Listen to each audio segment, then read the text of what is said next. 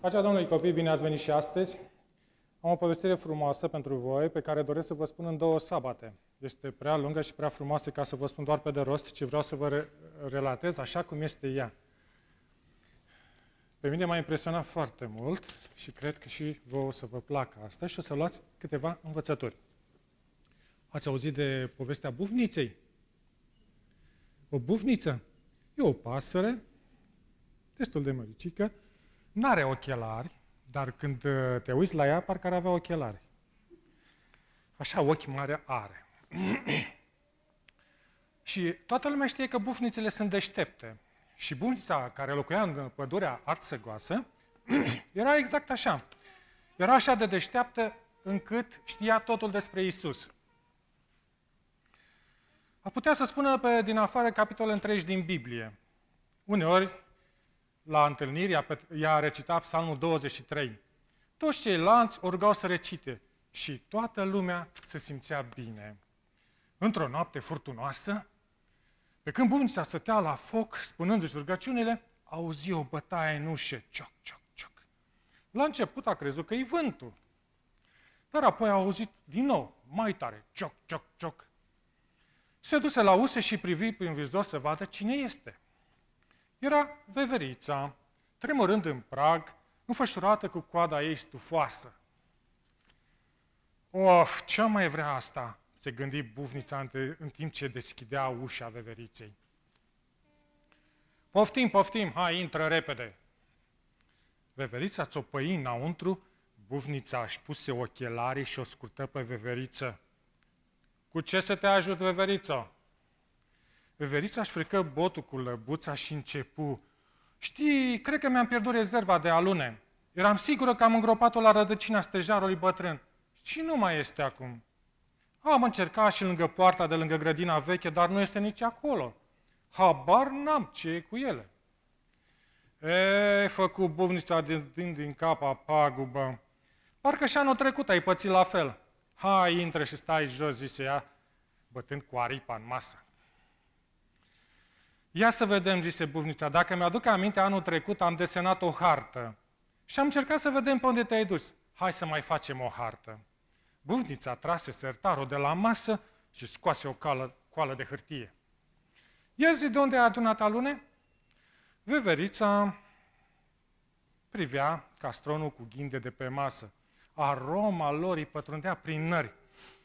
Și începuse să lase gura apă. Burtica a început să cânte, pentru că nu mâncase nimic de două zile. Veverițo! Vocea buvnice o făcut să sară în sus. E, da, zise veverița, întorcându-se către buvnițe care o privea cruciși. Veveriță, mă asculți? Unde ai adunat alunele? Păi știi, am adunat câteva prin pomii de lângă fermă și unele le-am adunat în Valea Frumoasă. Mmm, da, zise buvnița, începând să deseneze pe hârtie. Plescăia și mormăia ceva în barbă și tot măsura cu o riglă mare. În sfârșit lovi cu aripa masă și strigă. Evrica, am găsit, trebuie să le fi îngropat în vale, imediat după ce le-ai cules. Veverița se uită pe hartă, bunița făcuse o cruce roșie și însemnă că acolo credea că sunt alunele. Sunt sigură că dacă te vei duce în vale, alunele sunt acolo. Buvnița zâmbia amabil în timp ce îi dădea veveriței harta. Și chiar dacă nu găsești alunele, adu-ți aminte de vorbele Domnului Isus. Viața este mai importantă decât hrana. Veverița dădu din cap, era prea obosită și slăbită de foame ca să mai poată răspunde și bufnița o conduse la ușă. Sincer, sper să găsești alunele, zise bufnița cu o voce amabilă. Mulțumesc pentru ajutor, bufnițo. Veverița spuse încet, noapte bună. N-ai pentru ce, veveriță, îmi place să-i ajut pe ceilalți. Bunița se întoarse din nou la foc. Lua Biblia în mână și început să se roage. Îți mulțumesc, Iisuse, că m-ai făcut deșteaptă și nu uit tu ca așa ca veverița. Și îți mulțumesc, Doamne, că pot fi așa de mare ajutor celorlalți. Bufnița a luat de pe masă câteva ghinde și începu să le ronțe în timp ce citea Biblia.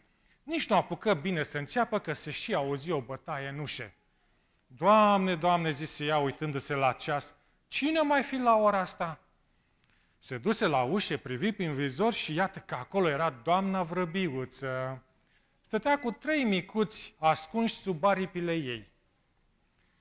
Aoleu, aoleu, gândi bufnița, alte probleme pe care trebuie să le rezolv eu. Doamna vrăbiuță și micuții ei țopăiră înăuntru și bufnița închise repede ușa. Care-i problema voastră, doamnă?" zise bufnița. Nu este cam târziu pentru copii să-i scoți în vizită?" O, început să se vaite vrăbiuța. Cuibul meu, știi, l-a trântit vântul. Și doamna vrăbiuță început din nou să plângă. Puișorii ei erau uzlearcă și început să se tremure și o stropiră toată camera cu apă. Uf, uf, zise buvnița cu o voce hotărâtă, fixându-i cu o privire buvnicească. Suiți-vă în patul ăla și să nu vă mișcați de acolo până nu termin de vorbi cu mama voastră. Puiți țopăiră până în fundul camerei și unul câte unul se cărțărară în pat și se înghesuiră unul între altul ca să se încălzească. Bufnița se întoarse către vrabie. Acum, calmează-te, hai să stăm de vorbă. Ziceai că vântul ți-a dărmat cuibul? Da? Da, să spune vrăbiuța în batistă. Și nu ai unde să dormi în noaptea asta? Da, și sărmanii mei copilași o să înghețe afară de frig, fără cuib, o să răcească, o să moară. E groaznic, groaznic. Vrăbiuța a început iar să plângă. Vrăbiuță, te rog să te calmezi. Plânsul nu ajută la nimic. Din fericire ai venit la persoana ex- exactă care te poate ajuta. Vrăbiuța se uita cu coada ochiului la puii care adormiseră din nou ca niște mingi de puf. O, mulțumesc, buvniță, zise ea. O, da, știu exact locul pentru tine, răspunse buvnița. Există un cuib vechi în boscheții din păducel un pic mai jos pe drum. Când ieri l-am văzut, am trecut pe acolo, l-am văzut și eu. E cam turtit, are nevoie de niște reparații. Dar cu puțină bunăvoință se poate aranja și se poate petrece noaptea în el. Mâine dimineața să treci pe la mine să-ți dau manualul instructorului, constructorului amator. O, ești foarte amabilă, zise vrăbiuța cu o voce obosită. Își adună pui adormiți și iată-o din nou pe pragul casei bufniței privind perdeaua de ploaie și vântul înghețat. Nu te frământa, doamna Vrabie, ai credință în Tatăl nostru Ceresc. El se va îngriji de tine, spuse buvnița. Mulțumesc, răspunse ea, înghesuindu-și micuții sub ariși și pregătindu-se pentru bătălia cu furtuna și vântul. Buvnița zâmbi și închise ușa, tremura de fric. Brrr, gerul de pe lume noaptea asta gândia așezând încă un buștean pe foc. Și așeză din nou în fotoliu, apoi cu Biblia în mână, închise ochii și începuse să se roage. Îți mulțumesc, Doamne, că m-ai făcut atât de calmă și sensibilă și nu nervoasă ca doamna Vrabie. Și mulțumesc, Doamne, pentru capacitatea mea de a descoperi lucrurile necesare altora. Buvnița zâmbea și era tare bucuroasă că poate să-și împartă înțelepciunea cu alții.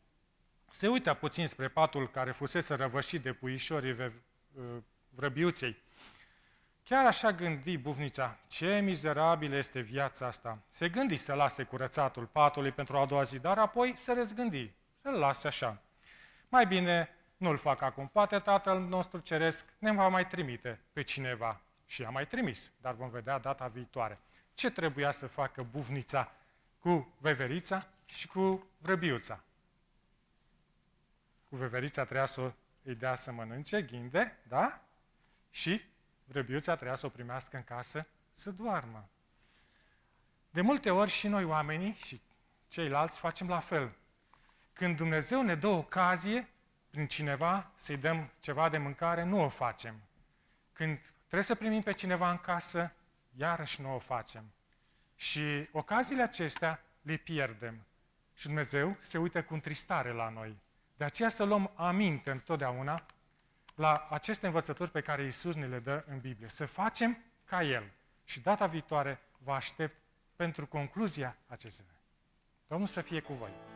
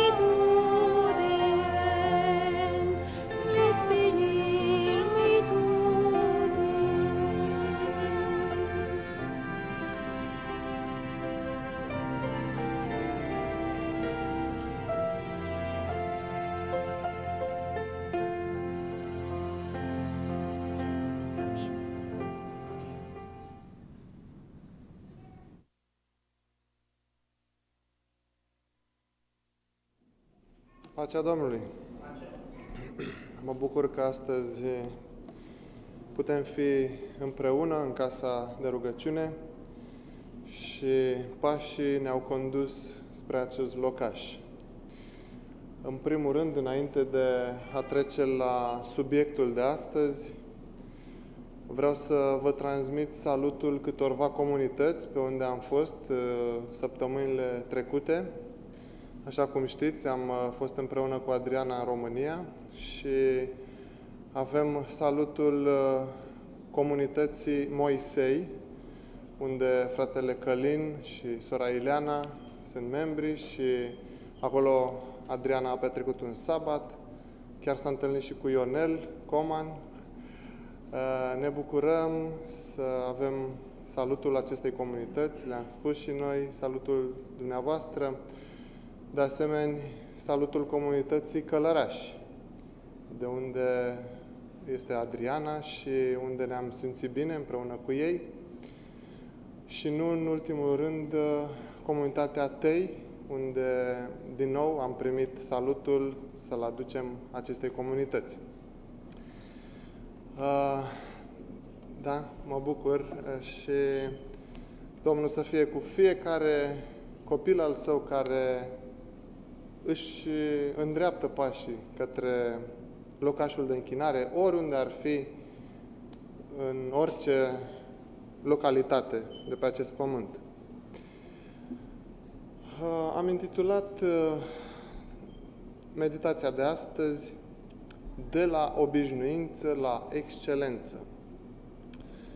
Uh, Când am uh, pregătit uh, începutul, zic, uh, ia uite, sună exact cum a fost și predica fratelui Costel de sabatul trecut. Ce, vi se, uh, ce vă spune cuvântul obișnuit sau obișnuință? Ce sinonime am putea găsi? Rutină, uzual. Haideți să vedem și altele. comun, da. Am mai găsit uh, mereu același, da? Uh, zilnic. Când zicem ceva obișnuit, e ceva zilnic. Normal, ca toată lumea. Ceva, ca toată lumea. Poftim? Oh, chiar învechit. Când zicem obișnuit, zicem învechit. Să, să zicem și asta, dar ceva obișnuit, de rutină, da? Dar uh, pentru excelent sau excelență sau extraordinar, ce putem găsi? Ieșit din comun. Poftim? Nemaipomenit. Neobișnuit. Perfecțiune. Da, neobișnuit. Mulțumesc. Ceva în plus, da? Uh, de fapt, uh, meditația aceasta am, uh, am preluat-o de la cineva care spunea acest subiect, dar în engleză și în engleză titlul ar fi Going from Ordinary to Extraordinary. Noi, în românește, când zicem ordinar, parcă nu e chiar uh, același, același uh, înțeles ca în engleză, deși este același înțeles. Mergând de la ordinar la extraordinar, de la obișnuit la ceva neobișnuit. Uh, de foarte multe ori ni se pare că între cele două este o diferență uriașă. De la a fi obișnuit și a fi uh, extra ceva. Uh, ce vreau să scot în evidență aici uh, este faptul că diferența între ordinar și extraordinar este doar de un sufix, extra prefix, scuzați, un prefix, extra. Și de acest aspect vreau să mă leg astăzi, ceva extra. Uh, suntem de foarte multe ori înconjurați sau în, suntem obișnuiți să facem lucruri ca toată lumea. Obișnuința, rutina. Dar uh, vom vedea pe parcursul acestei uh, meditații uh, care este direcția pe care trebuie să o avem în viață.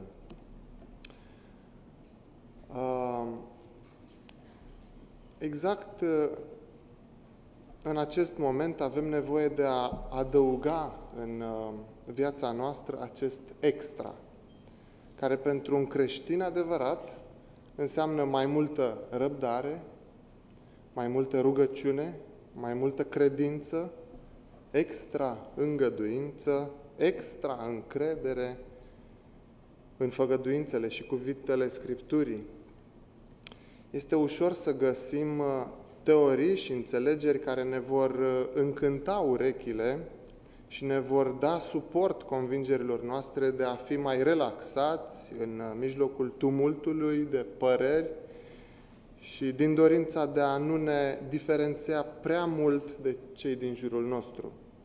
Însă Scriptura în uh, Matei 7 cu 24 la 27 spune astfel uh, De aceea, pe ori și cine aude aceste cuvinte ale mele și le face, îl voi asemăna cu un om cu judecată, care și-a zidit casa pe stâncă, a dat ploaia, au venit șuvoaiele, au suflat vânturile și au bătut în casa aceea, dar ea nu s-a prăbușit, pentru că avea temelia pe stâncă. Uh, ceva în plus a făcut uh, cel care a construit casa pe stâncă. A urcat materialele acolo, a depus un efort cu scopul de a fi ancorat pe ceva mai sigur. Uh, Scriptura ne îndeamnă să clădim orice, orice clădim pe stâncă. În cazul nostru, ca și creștini, E vorba să clădim pe Hristos, să-L credem pe El pe cuvânt. Și când spunem cuvânt, ne referim la Scriptură, să-L credem pe El prin Scriptură. Sunt multe situații în care vom putea fi tentați să spunem că e interesantă o altă idee cu care vin unii teologi astăzi și ne gâdilă urechile cu informații uimitoare care uh, nu mai creează uh, o prea mare tensiune în ceea ce știam sau care creează o presiune în ceea ce știam până acum din Biblie și ceea ce spun majoritatea oamenilor.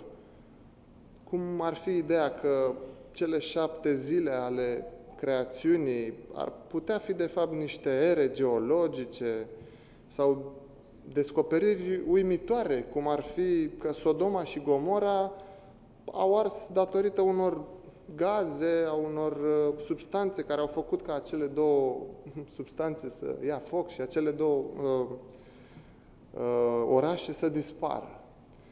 Lucruri care ne gâdilă puțin uh, urechile. Și exemplele pot continua cu teorii de tot felul, uh, încât demarcația noastră să fie cât mai ștearsă în fața majorității oamenilor. Matei 5 cu 14 spune astfel, Voi sunteți lumina lumii. O cetate așezată pe un munte nu poate să rămână ascunsă. Pentru acest lucru avem Scriptura. Putem avea încredere direct în Scriptură, să o luăm așa cum, cum ne stă scris. Dar pentru acest lucru trebuie să alergăm la Scriptură, să alergăm zilnic și nu numai să o citim ca pe o carte, cu rugăciune și cu îngăduința Duhului Sfânt să lucreze în noi adevărul. Uh, și pentru că viața spirituală este împletită foarte strâns cu partea socială a noastră, voi face referire alternativ la exemple biblice și situații din viața noastră cotidiană. Ce face diferență între, să zicem așa, un mecanic auto obișnuit și unul excelent? Sau care este diferența dintre un vecin oarecare și un vecin deosebit? Este vorba de un surplus de efort din partea acelei persoane. Efortul de a nu fi ca ceilalți. Ceva extra face din noi sau din cei care pun extra înainte activităților sau relațiilor să facă diferența de care toți avem nevoie în viețile noastre. Doar punând extra înaintea a ceea ce facem, vom putea să luminăm în lume și astfel să lăsăm o urmă de neuitat pe acolo pe unde trecem sau să ne desfășurăm, sau ne desfășurăm activitatea. Chiar uh, mi-a căzut în mână o carte care, a cărei titlu era Cum să faci uh, să fii, să devii de neuitat uh, în societate, să, să ajungi uh, ca oamenii până la urmă să le pară rău dacă tu, te, tu pleci de acolo sau, uh, cum să spun, să te poți lega de, de oameni printr-o relație deosebită, ceva în plus, ceva extra.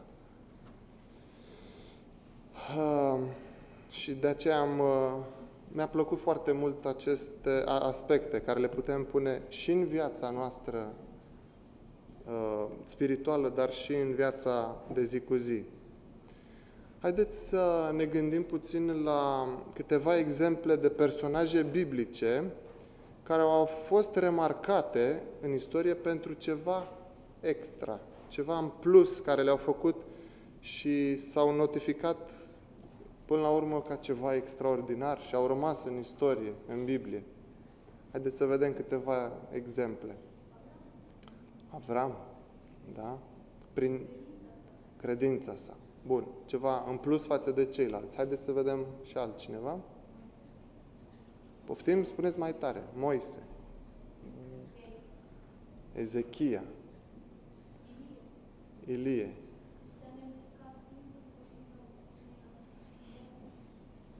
Bun, și haideți să vedem. Astea sunt nume mari, da, hai să vedem și alte.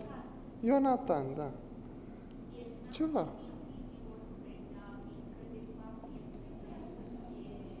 Deci Ionatan, care n-a fost invidios pe David. Estera a făcut lucruri, în, ceva în plus, extra. Rut, da, este chiar unul din uh, uh cei la care m-am gândit. Vedeți, fiecare vine cu câte ceva. M-am oprit uh, la câteva personaje care știu că fiecare încă mai au de spus. Mi-a plăcut foarte mult uh, Samariteanul Milos.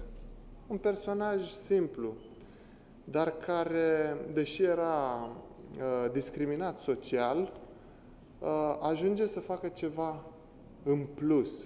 Chiar uh, îl duce pe acel om căzut între tâlhari, îl uh, uh, pansează, să zicem așa, și îl duce mai departe la hangiu și plătește și mai departe pentru el, pentru îngrijirea lui. Ceva în plus de care chiar Domnul Hristos spunea de foarte multe ori, dacă vă cere cineva haina, dați și cămașa. Ceva în plus. Uh, o altă persoană care e amintită doar așa, fugitiv, și apoi o găsim și în uh, Noul Testament. Rahav. Mi-a plăcut un alt aspect.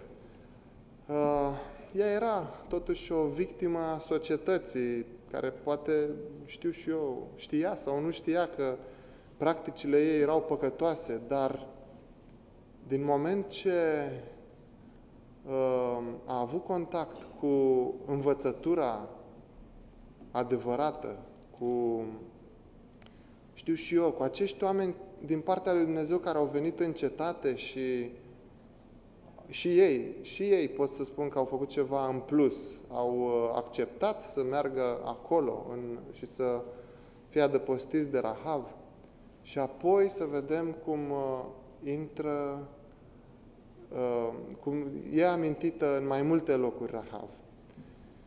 Pentru un lucru în plus.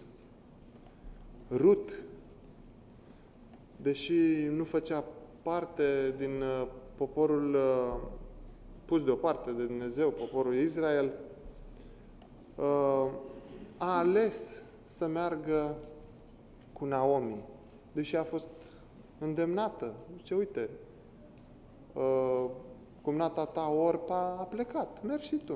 Nu, acum trebuie să, să pun în aplicare ceea ce am învățat. Mi-a plăcut, am, am fost în jurul acestei influențe lângă care vreau să rămân în continuare. Și a făcut un pas în plus față de ceilalți, față de ce te așteptai la ea să facă, nu? Și exemplele ar putea continua cu Petru, care deși încercase toată noaptea să dea la pește și era profesionist și știa și de la alții că noaptea se dă la pește, când îi spune Domnul Iisus, aruncă în partea cealaltă, deși nu era nimic profesional acolo, în timpul zilei și exact unde îți pică umbra, probabil, exact unde îi speria pe pești, a făcut ceva în plus. A zis, da, trebuie să ascult de cuvântul uh, lui Isus.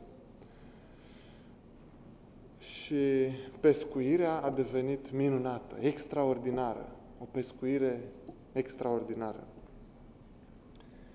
Nu e așa că de multe ori suntem uh, dezamăgiți să vedem cum, uh, deși adevărul uh, pe care îl avem este puternic și bine închegat, de multe ori suntem dezamăgiți cum bisericile cresc destul de greu sau cum uh, cu dezamăgire pun stăpânire uh, aceste stări de, nu aș spune lenevie, dar relaxare, obișnuință, rutină.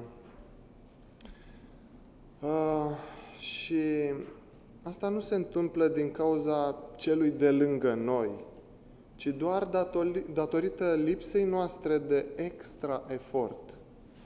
Avem astăzi nevoie de un pic mai multă răbdare cu cel de lângă noi. Extra îngăduință, extra iertare de 70 de ori câte șapte, extra rugăciune pentru alții, să oferim mai mult timp pentru celălalt.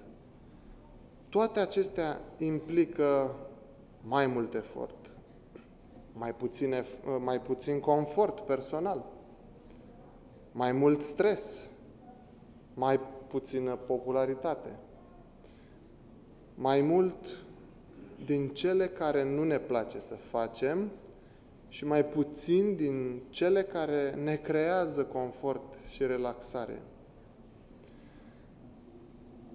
Ellen White scrie astfel uh, în uh, îndemnurile sale către biserici. Spiritul lucrării dezinteresate pentru alții dă caracterului profunzime, statornicie și o bunătate plină de iubire asemenea lui Hristos, care aduce celui care ce are un asemenea caracter pace și fericire, atunci când uh, aspirațiile vieții sunt mai înalte. Atunci nu mai este loc pentru lenevie și egoism, aceia care folosesc în acest fel darurile spirituale vor crește și vor deveni puternici spre a lucra pentru Dumnezeu. Ei vor dobândi o înțelegere spirituală mai clară și o credință puternică, mereu crescândă, și cu o mai mare putere în rugăciune. Duhul lui Dumnezeu, lucrând asupra lor, trezește armonii, sfinte în suflet, ca răspuns la atingerea divină. Aceia care se consacră astfel unei lucrări dezinteresate, neegoiste, pentru binele altora, lucrează cu atât mai sigur la propria lor mântuire.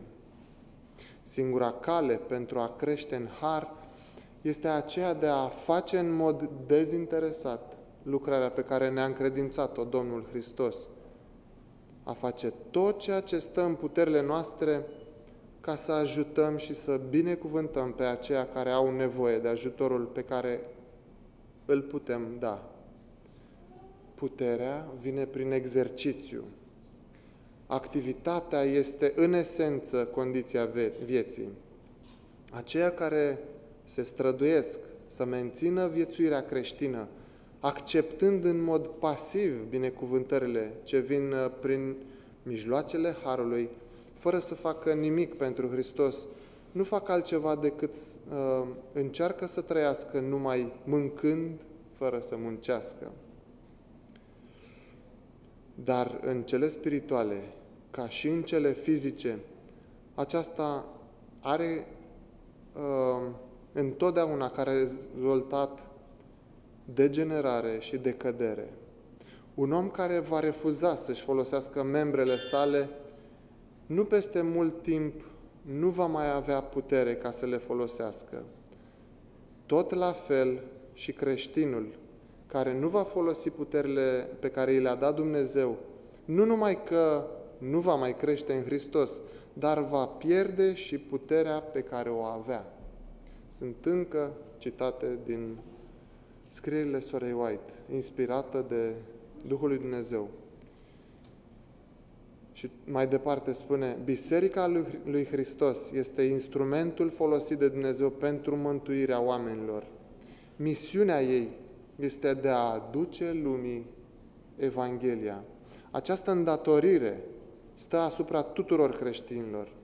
Fiecare, în limitele darului său și ale ocaziilor pe care le are, trebuie să aducă la îndeplinire însărcinarea Mântuitorului. Iubirea lui Hristos, descoperită nouă, ne face datori față de toți aceia care nu-L cunosc. Dumnezeu ne-a dat lumină, nu numai pentru noi, ci uh, pentru a o revărsa și asupra altora.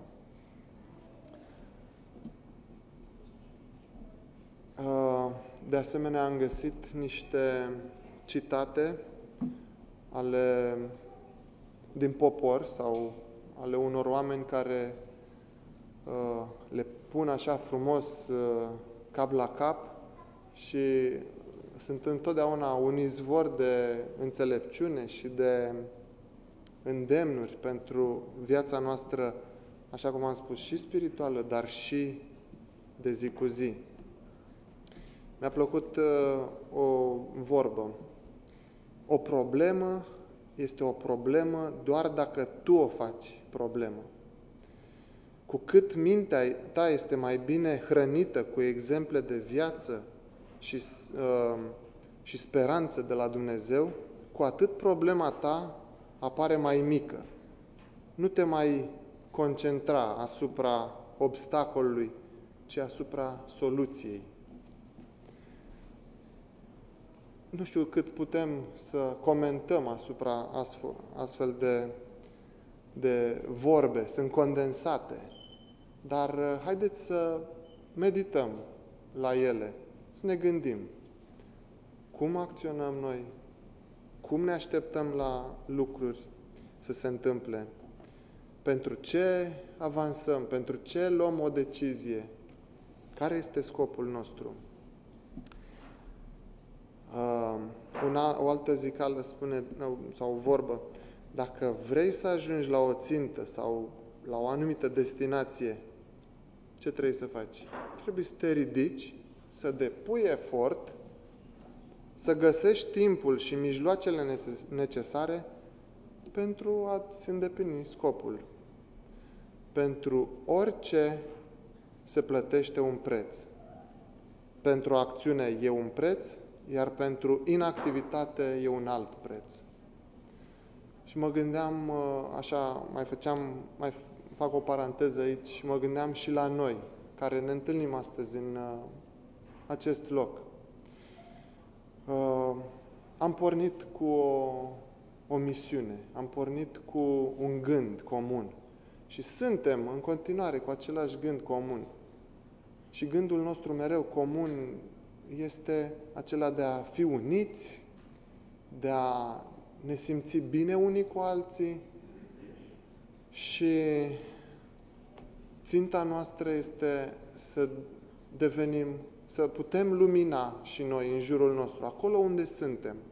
Putem fi un mic far, fiecare individual și aici, ca și comunitate, un far care să ofere protecție și speranță.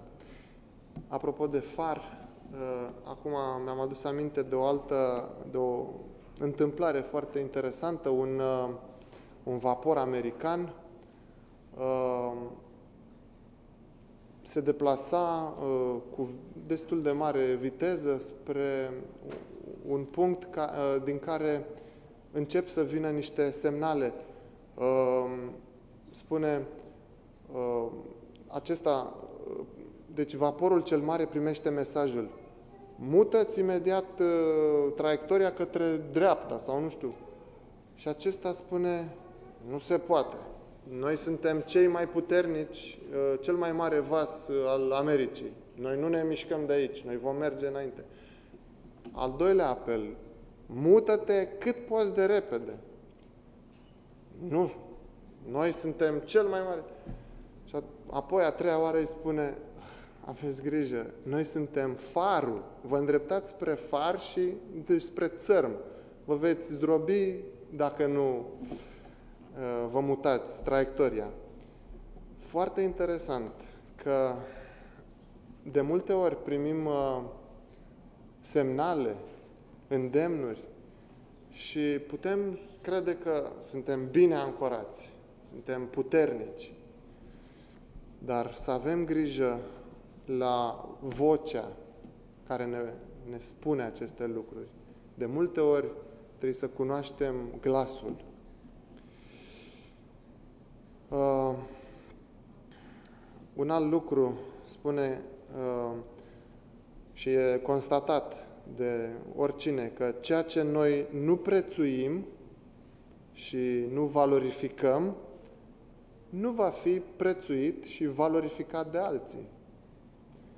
Dacă noi uh, avem o zi pusă deoparte, dacă noi avem niște uh, adevăruri puse deoparte cu mare grijă, prin îndemnurile Duhului Sfânt și credem că a, sunt acolo și nu le dăm importanța cuvenită, nici alții nu vor da importanța cuvenită. Dacă noi nu acționăm, cine să acționeze? Exemplele ar putea continua, dar uh, timpul uh, ne presează. Ideea este că nu ne putem opri aici, în dezvoltarea noastră, ca biserică locală și individuală. Ați văzut cu toți ce eveniment frumos a fost atunci când a venit uh, fratele Nicu Butoi prima dată.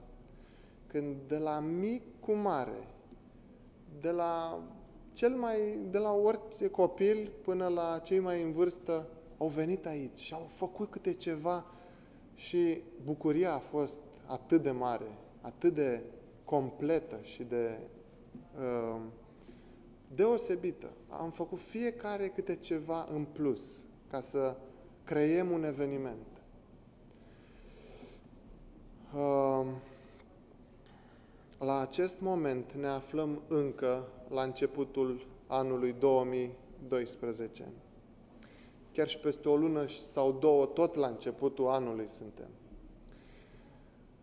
Uh, va trebui să ne punem ținte înalte, așa cum uh, spune Biblia și Spiritul Profetic.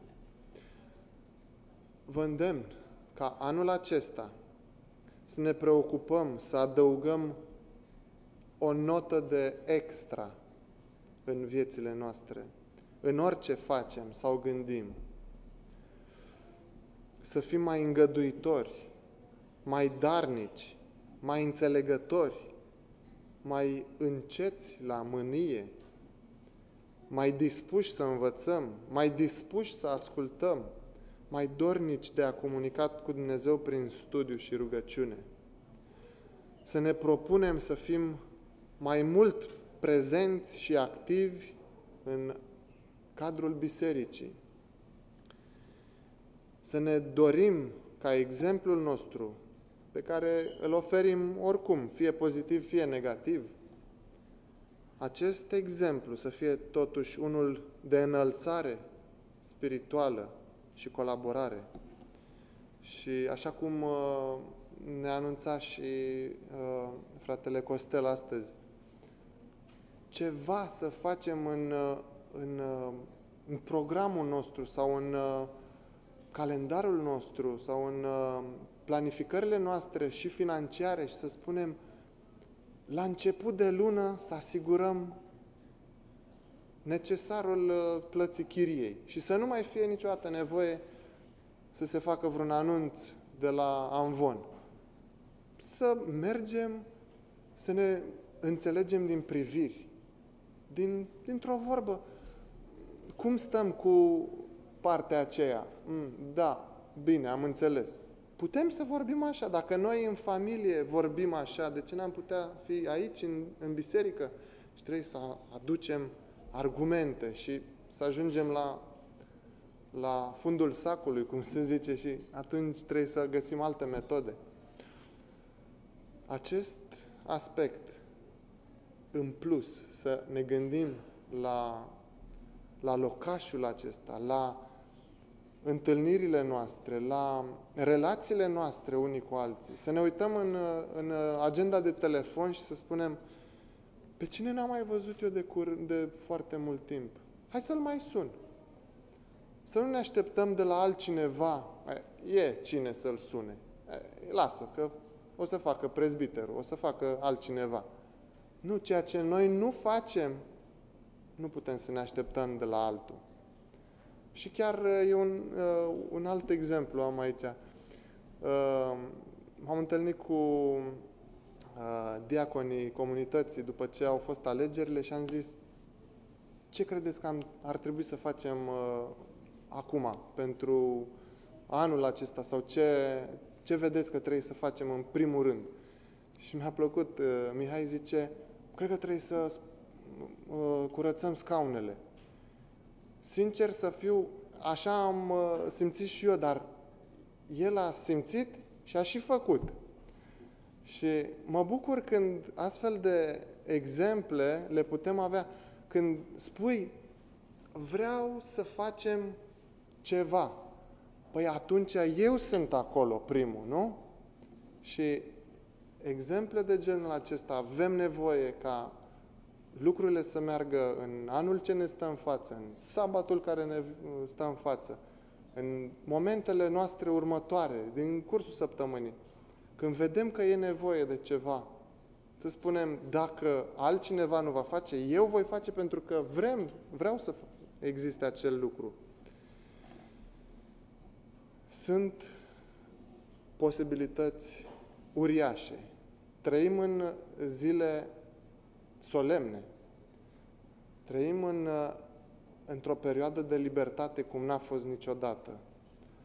Uh, când auzim sau când citim uh, uh, experiențele pionierilor adventiști sau ne întâlnim, chiar ne-am întâlnit la Moisei cu un frate mai în vârstă care a avut multe experiențe cu biserica sau cât cei care au construit biserici în, în timpul comunismului. Ce experiențe deosebite, ce unire! Țin minte și imediat după Revoluție, când uh, Biserica din Voluntari a luat ființă și au, au început într-o cămăruță și au zis, trebuie să facem o biserică mai mare. Și oamenii n-aveau fonduri, dar s-au rugat și au venit niște fonduri care i-au uluit pe toți. Oameni cu bani foarte mulți. Au zis, ha, e nevoie acolo. Acolo să punem banii. Și multe, multe alte exemple. Cred că fiecare are zeci de exemple în minte. Când vrei să faci un lucru, să pui ceva extra din timpul tău, din confortul tău și să stai până târziu să, să zicem așa, de multe ori zici, a, am pierdut vremea uh, la nu știu ce. Acea, acel timp să-l pui pentru Dumnezeu, nu e un lucru clăditor și eu cred că acest aspect ne va ajuta să ne dezvoltăm și să fim o lumină mult mai puternică în locul acesta, în Toronto. Uh, și rugăciunile noastre să se îndrepte la Dumnezeu cu dorințele noastre de schimbare și acționare în direcțiile dorite de El. Și în acest fel sunt sigur că Dumnezeu ne va binecuvânta cu mai multe persoane care vor decide să înceapă o viață nouă alături de Dumnezeu. Vom putea ajunge la cât mai multe persoane cu vestea cea bună a revenirii Domnului Isus, chiar și prin intermediul internetului. Chiar a fost un, uh, un exemplu care l-am oferit celor de la conferință.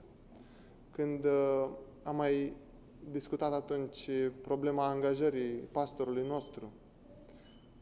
Câte vizitări avem la predicile de aici? Nu că am face noi ceva uh, deosebit și am spune niște cuvinte care nu s-au mai spus. Dar faptul că există în spate niște, o echipă tehnică sau uh, niște oameni care când se duc acasă încă mai lucrează pentru ca website-ul să funcționeze, să fim prezenți pe Facebook, unde toată, toți tinerii umblă, pe alte uh, mijloace media. Păi, știți, uh, am, am fost dezamăgit, pe de o parte, de uh, un aspect într-o comunitate din uh, București, unde uh, tehnicianul uh, bisericii și o biserică de 200 de 200 și ceva, 300 de membri tehnicianul era de 72 de ani pentru că cei tineri au zis nu putem să implicăm pe nimeni, nu pleacă imediat. Nu vrea nimeni, deși ar ști. deși fiecare au telefoane mobile, poate iPhone și aplicații. Și uite cum uh, ajungem să ne mișcăm ca, ca și când am fi ruginiți, așa. Uh, îmi place faptul că avem o echipă uh, foarte dinamică și mulțumesc lui Denis pentru tot efortul care îl depune și lui Emi. Uh, se discută acum, uh, discutăm uh, cu pastorul comunității să vedem ce am putea face pentru a dezvolta acest, această ramură a internetului. Din ce în ce mai multă lume e conectată pe internet. Am auzit o statistică că din tinerii între 16 și 20 de ani, 100% în America sunt conectați cumva pe uh, sistemele media, de Facebook, de toate cele. Sunt acum zeci și sute, poate, nu știu. Eu chiar uh, îi spuneam uh, lui Denis și lui Emi, eu am rămas în urmă cu unele uh, chestii de-astea și mă bucur că vin ei cu, cu idei. Sunt lucruri în plus pe care le putem face. Haideți să facem aceste lucruri în plus. Și mai mult decât atât, tot ce am discutat mai, mai devreme, re, în relațiile noastre, în relațiile noastre trebuie să punem un extra efort pentru ca ele să funcționeze așa cum trebuie. Prin puterea care vine de la Domnul Hristos, putem totul. Căci în Filipeni 4 cu 13 spune, pot totul în Hristos care mă întărește. Însă depinde numai de noi să facem pasul de la ordinar la extraordinar. Amin.